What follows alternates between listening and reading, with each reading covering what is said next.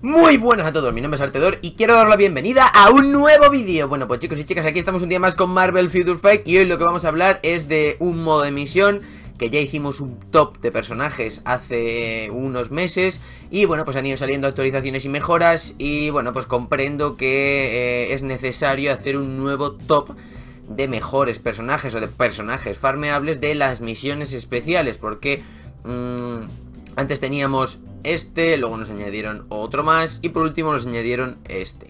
Así que vamos a empezar con el de los nuevos Vengadores, que como veis tenemos 1, 2, 3, 4 y 5 personajes, de los que ellos solo tenemos, digamos, en este modo, tres personajes que realmente son necesariamente farmeables, sobre todo al principio del juego por su utilidad. Y vamos a empezar por eh, los primeros. Bueno, el primero que yo diría es este señor que tenemos aquí, que es Wiccan, un personaje que tiene unas habilidades que crean campos electromagnéticos y lo que hacen es que mantienen al eh, personaje aturdido, además del daño por segundo que hacen, por eso considero que es un personaje necesario porque es un personaje que además de ser relativamente interjeteable, es decir, que no se le puede atacar porque al echar las habilidades pues vuela, etcétera, crea esos campos que en el suelo te van quitando vida poco a poco y como apoyo para otros personajes muy fuertes sí que nos van a venir bien, ¿vale?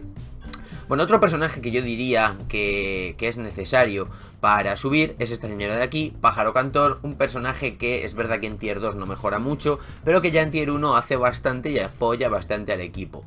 Tiene dos stuns y un escudo el escudo va a bloquearnos el daño y todo stun que va a mantener a los personajes evidentemente aturdidos y vamos a poder pegarles. No es que tenga un daño muy potencial, pero como digo, para, eh, por ejemplo, Tierra de Sombras, tanto Wiccan como Pájaro Cantor nos van a ser de bastante utilidad porque van a hacer, bueno, pues uno va a hacer daño por segundo y el otro va a stunear y nos va a ayudar pues a pasar los pisos de una manera más sencilla. De hecho, son personajes que en los primeros pisos también se los consiguen pasar, jugando con un poquito de estrategia se consiguen pasar esos pisos. Los demás son personajes buenos, ¿vale? Por ejemplo, Chica Ardilla es un personaje que es difícil de tarjetear cuando está en combate, sobre todo en batalla de la alianza, o sea, perdón, en conquista de la alianza, pero mmm, no es un personaje que destaque por nada en especial, así que yo diría y recomendaría esos dos personajes. Y además, aparte de estos cinco personajes que vemos en la lista, tenemos un personaje más, que vamos a ir a, personajes a enseñarlo, que es un personaje más que se consigue, eh, que es aquí, Winpool, que es un personaje que como veis aquí, se consigue como saltadores aliados, es decir, que nos va saliendo de con cierta probabilidad en las misiones especiales de los nuevos Vengadores. Un personaje que es, vamos a llamarlo semi-premium. Y sí que es verdad que es un personaje que eh, está bastante bien y además la vamos a necesitar para la misión especial, para los paquetes de misión especial que lo vamos a enseñar, para los paquetes de misión especial de, mm, de Dormammu. Cuando vamos aquí a paquete de misión, el paquete de misión especial de Dormammu, aparte de este beneficio, nos van a ir dando unos requisitos que hay que ir cumpliendo y uno de ellos es subir a Winpool a 6 estrellas, o sea que nos va a venir bien subirle, no solo por esto, sino también que es un personaje bastante completo y que nos va a ayudar bastante, porque se cura, tiene bombas, etcétera, o sea que es un personaje bastante eh, bueno a la hora de farmearlo. El siguiente modo de misión especial eh, sería la misión de los inhumanos. En este ya han metido rutas ocultas, que tenemos recompensas adicionales por completar rutas ocultas, las cuales podemos hacerlos con vales ocultos, que normalmente nos los van o nos los pueden ir regalando, o incluso podemos comprarlo con cristales. Pero bueno, de estos personajes yo destacaría, bajo mi punto de vista, destacaría también a dos personajes. Uno de ellos es Cristal, que bajo mi punto de vista estaría dentro del top 10 de mejores personajes del juego no nativos, es decir, que no incluiríamos ni a Melovezno, o sea, Wolverine, ni a Doctor Strange, ni a Jean Grey o Phoenix, es decir, ningún personaje, ni a Magneto. Simplemente a los personajes que yo puedo subir a tier 2, pues Cristal estaría dentro de, de, ese top 10 de personajes farmeables, ¿vale? De buenos, de los mejores personajes del juego, con uniforme y en tier 2, por supuesto, ¿vale? Y otro que tampoco destaca tanto es este señor de aquí, que se llama Maximus, que es un personaje que la verdad es que me parece muy versátil, es un villano que eh, obtiene un escudo, estunea y va generando copias, nos recuerda un poco a cuando Loki echa sus copias, bueno, pues este echa robots que van atacando por ti y les mantienen, digamos, eh, entretenidos a los personajes. Y también es un personaje muy farmeable a la hora de luchar en Tierra de Sombras porque nos pasa un piso, un piso de villanos, ¿vale? Por ejemplo, el piso 4, me parece, sí, el piso 4 se lo pasa bastante sencillo siempre y cuando le tengamos potenciados y además no es un personaje que sea completamente necesario subir a tier 2, por eso digo que sí que es verdad que es un personaje farmeable. Y como siempre, como en todas las misiones especiales, hay un personaje que destaca aquí de, estos cinco que yo le puedo farmear igual que Wimpool a través de... Eh, a través de saltadores aliados, que se le tenemos un poquito más subido, le tenemos aquí en 5 estrellas, que es nada más y nada menos que el señor Inferno, otro personaje que es bastante útil a la hora de jugar, que como veis se consigue como, saltadores, eh, como saltador aliado, que es un, personaje que también se podría decir que es semi-premium, tiene ataques de fuego, ¿vale? Eh, y potencia bastante el, daño, generando, bueno, pues eso, mm, zonas de fuego. Y es un personaje que al ser semi-premium, pues es fuerte, aunque no diría que entra en el top, bajo mi punto de vista, pero sí que es un personaje, como veis, al subirlo en las habilidades y luego al subirlo a tier 2, pues sí que es un personaje que nos puede ayudar bastante a la hora de pasar diferentes pisos de tierra de sombras y para eh, luchar en en las misiones que nos encontramos en el juego. Además también nos va a ser útil para el paquete de Dormammu, en el que también nos va a pedir que subamos, como veis aquí, a Inferno a 6 estrellas. También nos lo va a pedir, nos van a dar 50.000 de oro que nos va a venir bien y sobre todo nos va a ayudar a completar eh, la misión de, este hombre, de Dormammu, para conseguir un millón de oro, que bueno, a fin de cuentas tenemos que superarlo todo. Y por último nos encontraríamos la galería de canallas de Speedy. Eh, está relacionado, salió con la película de Spider-Man, son como los villanos de, de Spider-Man. Y bueno, yo aquí tendría un poquito de polémica. 100% eh, destacaría al hombre arena. De hecho, yo le tengo en tier 2 y es un personaje que está muy bien porque tiene inmunidad. Además tiene un ataque que son unos torbellinos de arena que van metiendo a los, a los, enemigos en el torbellino y hace que no te puedan atacar. Una rueda que ataca también eh, hace bastante daño por segundo. O sea que sí que es verdad que es un personaje que eh, simplemente por la inmunidad que tiene con su habilidad número 5 ya es necesario para... O sea, ya es... Eh, totalmente útil para subirlo a tier 2 y potenciar el personaje. Otro personaje que yo subiría sería aquí, el cazador Craven, que es un personaje de velocidad que también tiene habilidades que le hacen difícil de tarjetear. Eh, bueno, pues la habilidad número 5 salta y se balancea y echa un rayo verde, o por ejemplo una telaraña que hace que pegue mucho seguido hace que sea difícil de tarjetear y por eso considero que sí que es un personaje que es una opción dentro de los que hay en esta lista para subir. Y por último, sí que em, también subiría a Bola de Chicle. Yo le llamo Bola de Chicle por el caramelo que tiene en la cabeza. Pero es el Rey Misterio, el Señor Misterio, que también es un personaje que es difícil de farm, o sea, que es difícil de eh, focusear, de atacarle, porque hay dos de sus habilidades, la 5 y la 4, que hace que, bueno, pues no le ataques porque en una desaparece, en otra crea diferentes copias, etcétera. Entonces sí que es verdad que es un personaje que yo lo sí lo diría como bastante útil para farmear dentro, como digo, de esta lista de 5 personajes pero bueno, tampoco es un personaje que tenga un daño muy potenciado, sí que aumenta en tier 2, pero bueno, yo considero que sí que es útil subirlos y además son personajes que son fáciles de farmear, ya que como veis podemos luchar 20 diarias y son mínimo 20 primeros que me voy, a, me voy a llevar cada día y además suelen dar mm, siempre suele dar alguna más, entonces por eso creo que es útil. Aunque he de decir que el más útil de todos estos que vemos aquí, por cierto ninguno tiene uniforme, el más útil que vemos aquí y recomendaría 100% por eso hacer ese tipo de misiones es este.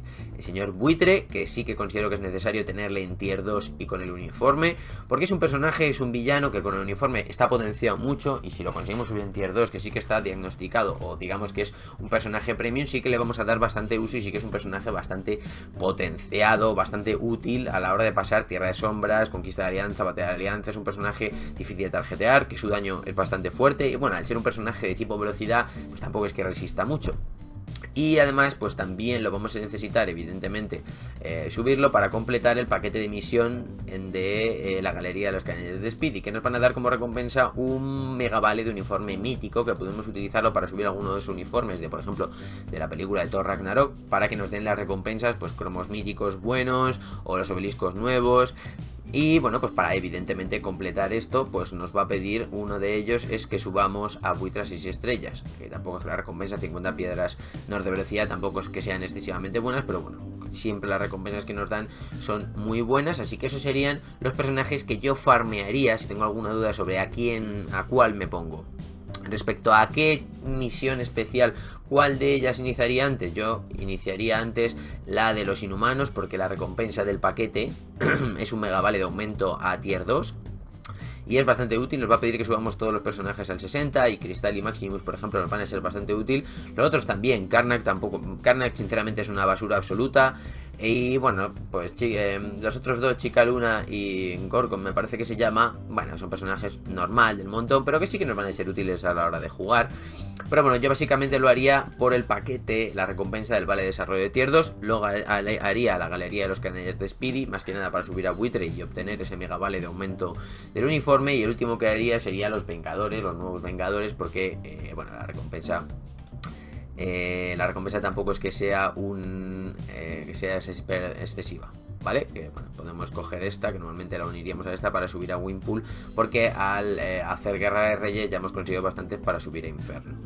¿Vale? Y bueno, además de top personajes de misión especial, me gustaría añadir que ahí ha salido un... Mmm, perdón, perdón, aquí, un nuevo evento por el Black Friday, ¿vale? en el que, bueno, tenemos descuentos aquí lo llaman Viernes Negro, pero Black Friday, en el que si compras un cristal y un paquete, bueno, pues nos van a dar más recompensas. Además, eh, como vemos aquí, nos van a dar un montón de paquetes en descuento, 50% de descuento en todos, todos los uniformes.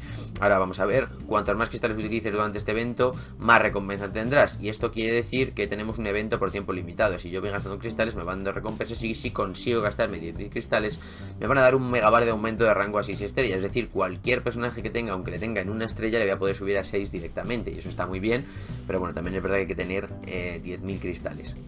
Y eh, como digo, uno de los mayores beneficios es los uniformes, como veis están a la venta por tiempo limitado durante 4 días y 22 horas que están mucho mucho más baratos y yo por ejemplo el primero que tengo claro que me voy a comprar para poder ver si el personaje mejora es el de Thor Ragnarok, un personaje que eh, ya me gasta 100 cristales si subo su uniforme ¿vale? Si voy potenciando su uniforme, aunque ya tenía un uniforme, pero si le voy potenciando, si yo me meto en el modo de cinemática de Thor Ragnarok eh, y me meto en la misión de Thor, eh, una de las recompensas que me voy a llevar es un cromo mítico de Loki que me viene muy bien para completar las colecciones de cromos y para potenciar mi conjunto de cromos que eh, está muy bien. Además nos queda para eh, nos queda dinero para otro uniforme más y entonces eh, llega el momento final de, digamos, del vídeo en el que os voy a preguntar qué uniformes os compraría si os digo eh, las opciones que podría llegar a tener. Bueno, una de las opciones sería comprarme el de Loki, que como veis le tenemos aquí, le tenemos comprado el uniforme justo el anterior. Me sigue pasando pisos de tierra de sombras tranquilamente. Me sigue, bueno, sigue eh, haciendo bastante en conquista de alianza, en batalla de la alianza. Me parece un personaje bastante útil. Entonces, un personaje, una opción sería el de Loki, porque es un, bueno, es un uniforme muy bueno que han potenciado mucho. Otra opción de uniforme sería el uniforme de cristal, que considero que, como he dicho antes, potencia mucho al personaje y estoy cerca de subir la tier 2. Otro sería el de la gente anti-Venom, que también le quiero subir a tier 2 pronto y mejora bastante porque se parece, no recuerdo mucho a Carnage a la hora de curarse y todo, que viene muy bien. El de Ela lo he descartado completamente. Y otro uniforme es el de Yondu. Eh, bueno, es uno de los personajes, el último de Guardianes de la Galaxia Volumen 2. ¿Vale? Eh, quiero ir a la lista de uniformes, sí, el de este Guardián de la Galaxia Volumen 2, que mejora bastante al personaje porque reduce la recarga de la habilidad en 50%, es decir, la mitad de reducción, además de que visualmente mola un montón. Así que bueno, pues eso sería mi lista de qué uniforme me compraría, además del que ya me he comprado de Thor Ragnarok, que por cierto le vamos a meter aquí en el equipo, que ya tenemos al uniforme de Thor Ragnarok, que estamos viendo el de buitre. ¿Qué uniforme nos compraríamos? ¿El de Loki? ¿El de Cristal? O el de Yondu. Os lo dejo en vuestras manos. Así que bueno, pues espero que os haya gustado, que os haya ayudado bastante a la hora de ver los personajes de emisión especial que consideréis que no sabíais, estáis un poco liados, no sabíais cuál subir. Bueno, pues ahí os dejo una pequeña guía para que os ayudéis un poquito, para ver si os parece bien. Si es así, si os gusta y os ayuda, podéis apoyarlo con un like. Además, por aquí por los comentarios podéis ponerme cualquier cosa sobre los uniformes, cuál os compraríais, sobre esos que hemos dicho, o si invertiríais en otro tipo de uniforme. Recordad que podemos comprarnos un uniforme más. Así que bueno, ha sido un placer estar con vosotros un día más. Pondré un botón donde vamos a poder suscribiros al canal si es que estéis interesados. Nos vemos pronto y hasta luego.